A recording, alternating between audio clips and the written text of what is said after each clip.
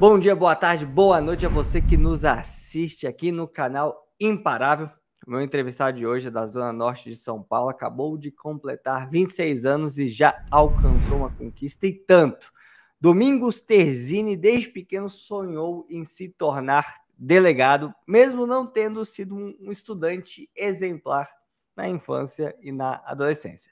Mas, apesar do histórico, ele sabia que tinha de se dedicar para alcançar seu sonho e com o apoio dos seus pais, no nono semestre da Faculdade de Direito, Domingos conseguiu passar no exame de ordem e logo viu que era chegada a hora de se preparar para a carreira sonhada de delegado. Foi assim que, em janeiro de 2020, ele começou seus estudos com o GRAM e dois anos depois, em agosto de 2022, conquistou a aprovação no concurso da Polícia Civil da Bahia para o cargo que sempre almejou, o de delegado. Agora, este imparável está prestes a dar um passo importante em sua vida: sair da casa dos pais, mudar de estado e construir uma nova família, uma nova vida, né? Com a família ali, a sua noiva, Maiara. Hoje eu te convido para conhecer e se inspirar com a história de sucesso do Domingos. Assista agora e veja como esta jornada pode ser uma fonte de motivação e inspiração para você seguir em frente e alcançar seus sonhos. Com vocês, o imparável e aluno Gran, dizemos isso com muito orgulho, Domingos Terzini. Domingos, seja muito bem-vindo.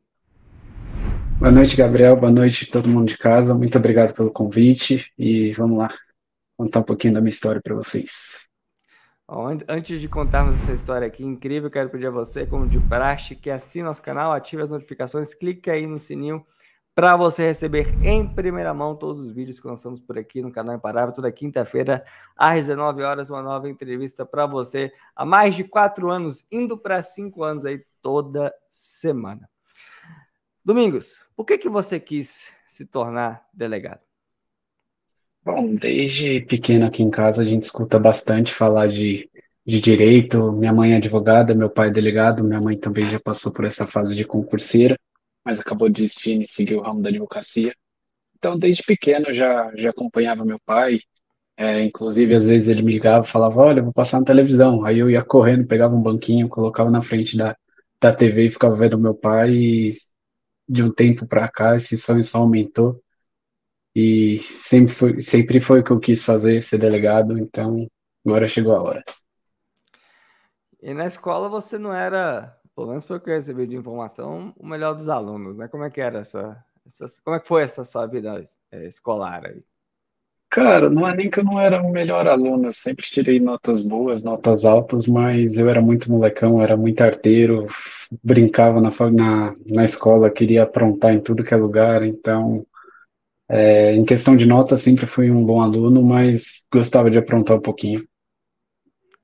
E aí veio a faculdade e as coisas Aí você ajeitou um pouquinho? Como é que foi? Então, na faculdade, no começo, a gente pega aquelas matérias um pouquinho mais, entre aspas, complicadas, porque a gente está saindo de um colégio e a gente não tem quase contato nenhum com a faculdade. E no começo é um pouquinho difícil, mas logo no primeiro semestre eu conheci a Mayara. A Mayara estudava em outro período, aí ela foi para minha sala na faculdade, e aí a gente ficava os dois na sala e, querendo ou não, já ajudava um pouco é, um, um ajudando o outro, e a hora que a gente foi ver, a gente estava se formando junto. E deu tudo certo. A partir do sexto semestre, você começa a criar um, um orgulho gigante pelo que você está fazendo, começa a realmente gostar da faculdade, começa a entrar nas matérias principais e é uma maravilha. E quando que você começou de fato pensar no concurso? Pensar, você diz pensar estudar ou é pensar estudar eu ativamente para fazer, começar de fato a estudar mesmo. Então, Gabriel, é tem uma hora que você precisa acordar porque desde que você entra na faculdade você já entra com preciso passar no AB. Então, cada hora que você vai ali chegando quinto, sexto, sétimo semestre, o AB já vai já vai te falando, ó, oh, tô aqui, você vai precisar passar. Aí, a partir do oitavo semestre eu já dei, comecei a dar uma estudada e depois da OAB, a hora que eu passei, eu ainda tirei um pouquinho de tempo. Aí, assim que eu, que eu me formei, é, acabou meu contrato de estágio. Então, aí eu realmente parei de trabalhar, parei de estagiar, no caso, e comecei a só estudar para o concurso mesmo. Como é que era a sua rotina de estudos? Então, é, no começo eu tinha muita dificuldade em ler. porque pensa, alguém que quase nunca estudou na vida inteira começar a ler PDF, PDF, PDF. Aí eu comecei, para começar, eu procurei algum algum curso que realmente tinha videoaula, porque eu gosto de sentir que tem alguém ali estudando comigo. E no caso era os professores do GRAM. Então, como GRAM, tanto que se você jogar no Google é cursinho carreira policial, o GRAM é um dos primeiros que aparece. E realmente foi isso que eu fiz naquela época, porque eu não tinha noção nenhuma de, de qual era o mundo desses concursos, melhores cursinhos. E aí eu fui entrando um pouquinho de cada um, pesquisando e acabei aderindo o GRAM aí. Primeiro acho que eu peguei uma assinatura de um ano, depois eu renovei por mais um, alguma coisa assim, mas peguei bastante tempo e se for colocar na ponta do lápis quantas aulas do GRAM eu assisti, acho que dá umas duas mil videoaulas, cara, daí para mais. E aí, como é que era um dia normal? Você acordava que horas? Estudava quanto tempo? Como você estudava? E o que, que deu certo e o que, que deu errado aí nesses dois anos de aprendizado? Bom, é, minha irmã estudava, estuda também no caso, então eu sempre tentei me basear por ela. Só que minha irmã é muito estudiosa e não faz meu, meu estilo, não. Minha irmã acorda às sete da noite, para estudar, acorda às sete da manhã e para de estudar às sete da noite. Aí eu falei, ah, vou tentar fazer um pouquinho, adaptar isso, né? Então eu acordava às nove, começava a estudar umas nove e meia, dez horas, e aí eu ia até alcançar umas. O mínimo que eu parava era cinco da tarde, mas tinha dia que eu estava animado, alguma coisa, ia seis, sete. Tinha dia que eu parava de estudar bem de noite mesmo, 10, 11 horas da noite. O que deu certo e o que deu errado, vamos pensar. Cara, o que deu certo é que parecia que sempre tinha alguém estudando ali comigo. Vídeo aula é muito boa, muito bom por causa disso, porque você parece que você nunca está estudando sozinho. E o ponto ruim que eu não gostava muito é porque às vezes a gente pega um assunto que, se você, por exemplo, fosse ler o PDF, você ia gastar pouco tempo. Só que vendo vídeo aula, você vai gastar muito tempo. Só que é um tempo que vai correr, porque é o que eu falei, você, você vai ter alguém estudando ali com você, você não vai estar sozinho. Então acabou que eu sempre preferi ver vídeo aula do que ler PDF. E aí você, durante essa preparação, você sofreu com umas é, crises de, até de, de, de ansiedade por achar que você tinha que estar estudando mais. Como é que foi isso? Então, é, grande parte também, eu, eu e minha irmã, a gente sofria disso. Toda vez que a gente para de estudar, a gente pensa em voltar a estudar. Aí quando a gente está estudando, a gente está cansado. Então, por exemplo, quando eu não estava estudando, eu parava de estudar umas 5, 6 horas da tarde e eu tentava fazer alguma coisa que eu gostava. Até porque você está vendo a cadeira gamer aqui, tem tudo fonezinho, eu gosto muito de jogar. Então eu ficava jogando no computador até a hora de dormir, ou às vezes eu ia jogar bola. Só que sempre com aquele pensamento, você não devia estar estudando? O pessoal que está prestando prova com você está estudando agora. E isso daí vai até você ser aprovado, você vai passar na prova e vai achar que você devia estar estudando ainda. E aí você, quando é que foi a sua primeira prova que você fez? De... Cara, eu comecei a estudar na, na pandemia. Então, comecei em 2020, a primeira prova que eu fui fazer foi só em, no meio de 2021. Então, acho que isso aí foi uma coisa também que meio que fez eu demorar a passar. Porque, por exemplo, eu fiquei um ano e meio sem, sem prestar prova, e cada prova você percebe que você está indo mal, então você vai adaptando seus estudos de acordo com as provas que você está reprovando. Por exemplo, você vê a matéria que você está indo mal, você começa a dar mais foco. Você vê o que você está esquecendo, você começa a dar mais foco na revisão naquela matéria. E você meio que vai fazendo uma adaptação até chegar numa hora que você está vendo que realmente você está fazendo certo, suas notas vão subindo mas por ter ficado muito tempo sem prestar prova, eu acho que, que acabou me prejudicando um pouco, mas no final deu tudo certo, então muito feliz com isso. Mas essa prova que você fez, você reprovou essa daí, que foi um ano e meio depois? Eu fiz essa, foi delegado do Pará. Foi minha primeira prova, eu fiz 66 de 100 pontos, nota de corte foi 70 e alguma coisa, 77, acho. Para ser a primeira prova, até considerei que foi um bom resultado. Mas aí depois foi só, foi disso aí, foi subindo um pouquinho, aí depois caía, aí depois descia. Aí demorou um pouquinho para eu conseguir a aprovação. Foram quantas reprovações antes da, da aprovação? Posso falar os estados? Pode. Ó, eu fui primeiro para o Pará, depois Rio Grande do Norte. Não vou falar em ordem porque eu não lembro muito. Depois Paraíba, teve São Paulo, Amazonas, Minas Gerais, Paraná, Aí eu fui para o DF prestar investigador escrivão, mas eu não tinha estudado, porque investigador escrivão cai muita matéria que não cai para Delta. Por exemplo, contabilidade, estatística, arquivologia. Então, acabei que só fui prestar prova. E depois de São Paulo, meu foco mesmo era em São Paulo. Então, eu estudei muito pesado para São Paulo. É, acabei não passando e todas as provas depois de São Paulo eu passei. Então, prestei São Paulo, depois foi Bahia, depois foi Roraima, depois foi Bahia. Eu passei nas duas da Bahia, passei em Roraima e não passei em São Paulo. Mas é, foram duas da Bahia porque a primeira foi anulada, é isso? Isso, a gente fez a. Não, a gente, a gente fez a primeira prova. É que na Bahia era assim: de manhã era a prova, a primeira fase, de tarde era a segunda fase. Aí a gente fez a primeira fase, aí depois, quando a gente foi almoçar, eu recebi um telefonema da minha mãe, aí ela falou, ah, onde você tá? Eu falei, ah, tô fazendo prova, ela, sua prova foi anulada. Eu falei, não foi não? Aí ela falou, foi, tá em todo lugar aqui em São Paulo. Resumindo, eu nem sabia que a prova tinha sido anulada, eu estava na esquina da faculdade e ela em São Paulo já sabia que minha prova tinha sido anulada. Aí depois, a hora que eu cheguei, eu peguei para corrigir, eu tinha feito 84 pontos de 100. Aí tinha passado, eu teria ficado uma ótima colocação e acabou que anulou a prova e marcou para um mês depois, por aí. Como é que você se sentiu quando isso aconteceu?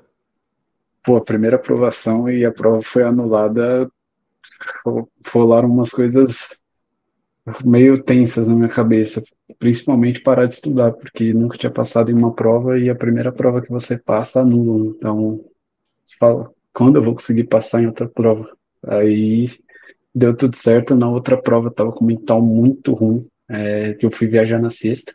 No sábado foi horrível o dia, porque eu ficava, nossa, vou fazer uma prova que eu já passei. Nossa, vou fazer uma prova que eu já fiz 84 pontos. Aí acabou que, que eu me reuni com uns amigos lá, e aí a gente passou o tempo lá, ficou comendo alguma coisa, enrolando o dia inteiro para não pensar muito nisso. Aí chegou domingo, a gente a gente prestou a prova com toda a atenção do mundo e acabou dando certo de novo. Teve uma uma ansiedade aí grande, né? Porque você já tinha passado na prova e tinha um sentimento que você estava preocupado. Se, será que eu consigo fazer de novo, né? Será que um feito é extraordinário foi... como esse eu consigo fazer duas vezes em um período tão curto? O problema é que foi a primeira aprovação, né? Não foi mais uma aprovação. Foi a primeira que nem foi a primeira, né? Porque não existiu essa aprovação. Nem chegou a sair a nota. A gente corrigiu porque a prova de de delegado, é, grande parte das questões foi igual a dos outros cargos, uh, de investigador escrivão. Então, até a questão 40, que era conhecimentos gerais, foram as mesmas questões. E aí, inclusive, o GRAN corrigiu a prova, se eu não me engano. E, e aí eu fui checar o gabarito. Aí, a hora que eu vi minha nota, eu falei, nossa, não devia nem ter corrigido. Eu ainda demorei para corrigir. Eu corrigi uma matéria por dia para falar, eu não vou corrigir essa prova, porque se eu corrigir eu passar, eu vou ficar muito triste. Aí eu corrigi, eu passei. Eu falei, tá, o que, que eu vou fazer agora? É, vamos avançar para a prova de fato que aconteceu. Como é que foi a sensação quando você corrigiu e passou de novo?